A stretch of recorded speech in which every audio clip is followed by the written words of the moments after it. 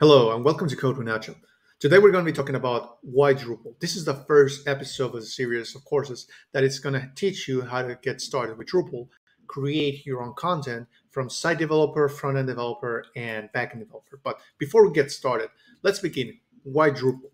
Now, in order to understand why Drupal, first of all, we have to understand what is Drupal. So the first thing to know is Drupal is a free open source content management framework that can be customized and it's suitable for developing simple websites and complex web applications. Basically, Drupal grows as you grow. So, and the key point in here is framework. It allows you to it basically allows you to create hooks and have this modular system in order to create your own API integrations, in order to have a content rich experience where you're able to have field APIs added into your own custom made uh, post or post types if you're actually coming from WordPress.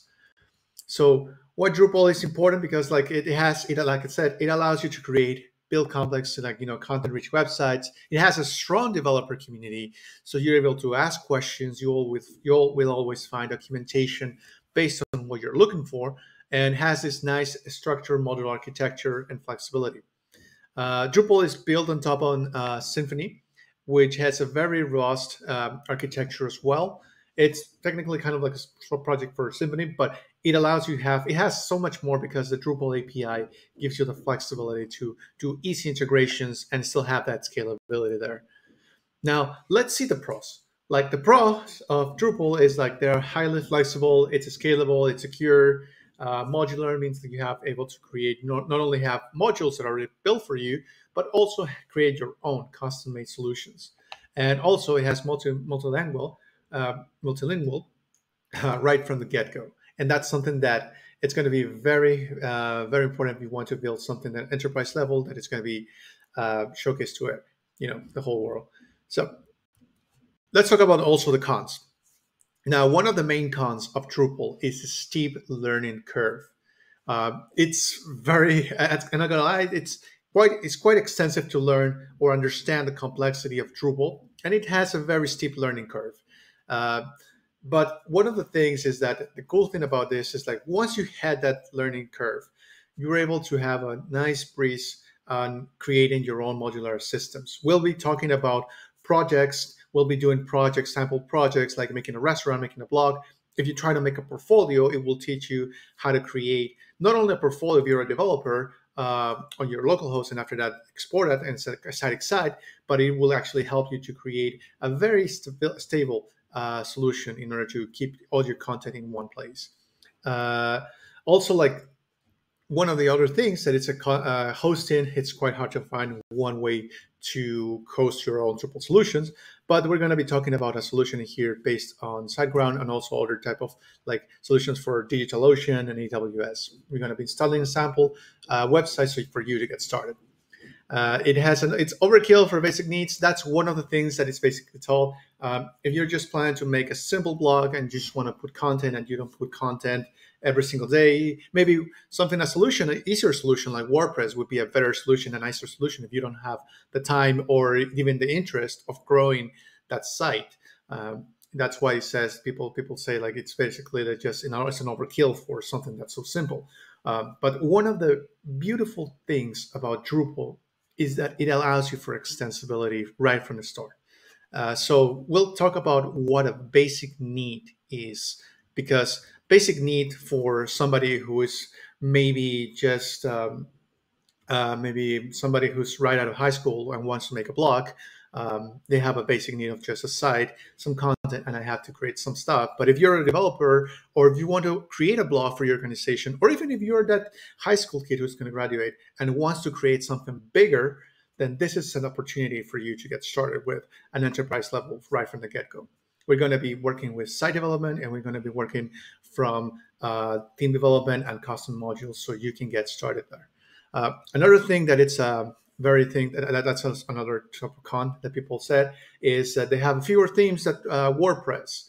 Uh, now, WordPress has a very interesting structure. I'm not going to here to trash talk WordPress. I think it's a wonderful uh, tool if you are used to it. But one of the beautiful things about Drupal is that it allows you flexibility to create your own as well.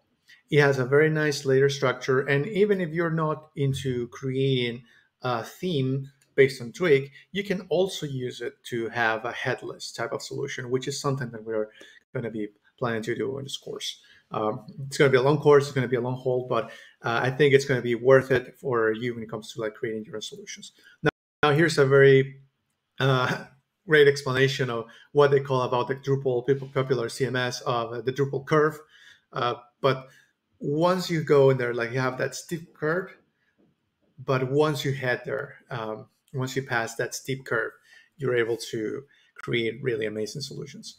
Now, in Drupal, we have an expression called, there's a module for that. Let's, for example, in WordPress, you have, and I'm going to compare this with WordPress because it's one of the most popular solutions. But uh, let's say, for example, you have advanced custom fields, and advanced custom fields allow you to create these fields API in order to have um, to hook to either post or your custom post uh, well, we have the Fields API in Drupal right from the get-go. It's not a premium module. It's basically something that you just download, or even actually Fields API comes from core. It's built on top of that. It has that extensible, flexible um, Field API solution that you can just kind of like hook into those content API content posts. Uh, say you need an image, you can hook that image in there, or you can have multiple images that need to be displayed. It it creates kind of a bucket that you're able to put extra data and you can say like this bucket holds this type of data there but it's not limited to this it can be added you can add more stuff uh, wp forms you want to have forms forms are important if you want to have feedback from your users so we have web forms which is the same thing in order to have like custom it has a nice custom ui you can actually have uh, some protection from spam as well included with that. Uh, there's also protection security like honeypot um, that is included also within drupal. There's a module for that as well if you want to have some extra protection there but web forms have a very flexible structure there uh, you can hook it to an api you can hook it to um, you can you can have some feedback of multiple steps you have a nice ui we'll be talking about that later of what you can do with web forms and how you can extend them uh, also, we have uh, a query. If you are used to WordPress um, or you're more like a developer for WordPress side, then you understand what the loop is. It's basically just uh, a call, a query that you create on uh, WordPress with the WordPress API, and you have all of these nice post solutions being dragged from to the page. Uh, it works when it comes to you know creating your own post. It works when it creates your own like custom types and you have a nice list of those things. But in Drupal, we have something called views, and views is part of core as well. And the, the difference is that we have a nice UI uh, in order to showcase all of the loading content in there. Uh, we can filter them. We can have some extra complexity uh, uh queries that complex queries that say only show this for this person. There's a role permission level that you can add that it's also within core, and that is something that it's really really amazing there. For custom post, same thing. We have entities, entities that basically hold everything within a bucket as well. Kind of like it goes tie hand in hand with a fields API.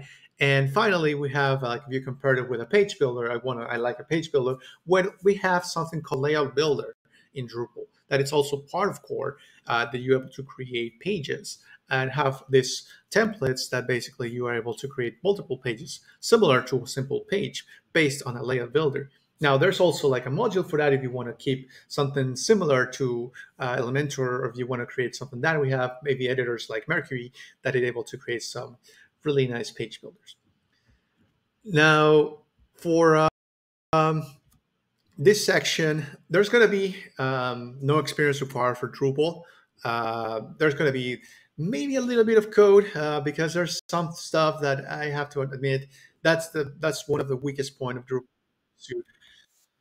You don't have that one-click uh, fits all solution, uh, but we do have explanations on how to create that part. And I think this is one of the main hurdles when it comes to getting started with Drupal. But once you get started with this, and if you're planning to become a, a software engineer, if you want to put your content out there, a portfolio out there, I think it's going to be a it's going to be a valid solution for you, very valuable. Uh, since it's not gonna it's gonna teach you not only how to install Drupal, but every other type of solution as well. Now, for the goal for this section is going to be getting you an environment. Uh, we're going to start working with the basic ones, which is just using LAMP, which is Linux, um, Apache, MySQL, and PHP. Get you started with that one. Um, then uh, we're going to work. We're going to work with either a Docker solution if you want to have something more local. Uh, my choice is going to be working if you want to work locally. Uh, it's going to be using DDEV. And finally, we're going to go with uh, some push production when it comes to like DigitalOcean and SiteGround. So you can get your old Drupal site started if you don't want to have that locally as well. Now for this task, uh, we're going to have to um, review some um, CLI commands, which is command line interfaces called Composer and Drush, and also like uh, get you started with uh, maybe VS Code as well. It's going to be our solution editor since that's one of the most popular one. And uh, yeah, so let's begin. Um, let's begin with this talk. I mean, that's something that is going to be very, very, I'm very excited to see that. If you have any questions on Drupal or if something that's not clear, please leave a comment. I, I really appreciate also if you leave a like and subscribe. That is something that is going to be uh, very important. It's something that's very important for me. And also like keeps you like to encourage it in order to keep doing these videos for you. So thank you very much, uh, and Renato, and you've seen with Nacho, and I'll see you on the next episode. Have a great day.